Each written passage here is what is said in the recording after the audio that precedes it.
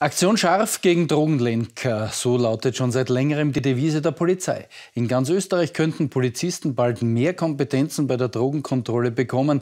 Künftig sollen speziell geschulte Beamte feststellen dürfen, ob jemand fahruntauglich ist. Bisher war das den Amtsärzten vorbehalten.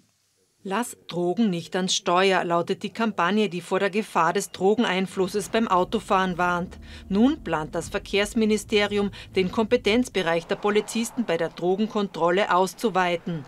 Zusätzlich zu Amtsärzten sollen künftig auch 300 besonders geschulte Polizisten österreichweit die Fahruntauglichkeit durch Drogen feststellen dürfen. Wir wollen erreichen, dass derjenige, der als erstes den drogierten Lenker sieht, eine entsprechende Beurteilung abgibt, die Fahruntüchtigkeit feststellt, das muss er jetzt schon, das ordentlich dokumentiert und dann, wenn Drogenverdacht besteht, möglichst rasch die Blutuntersuchung, also die Blutabnahme initiieren kann. Das heißt, in ein Spital bringen, zu einem Arzt bringen.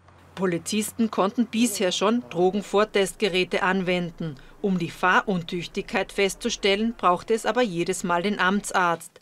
Diesen Umweg will man sich durch die geplante Gesetzesänderung ersparen. In den ländlichen Gebieten, wo Amtsärzte nicht zur Verfügung stehen, funktioniert das System nicht, weil es oft erst Stunden später zur ärztlichen Untersuchung kommt und vor allem Stunden später dann zur Blutabnahme.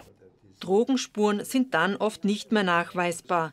In Wien werden laut Bürstl bei Schwerpunktkontrollen mittlerweile mehr Drogenlenker als alkoholisierte Fahrer erwischt. Die häufigste Gruppe Männer und unter 40-Jährige. Ihnen drohen künftig auch härtere Strafen. Drogenlenker müssen bis zu 5.900 Euro zahlen und für mindestens sechs Monate den Führerschein abgeben. So sieht es die Gesetzesnovelle vor, die derzeit in Begutachtung ist.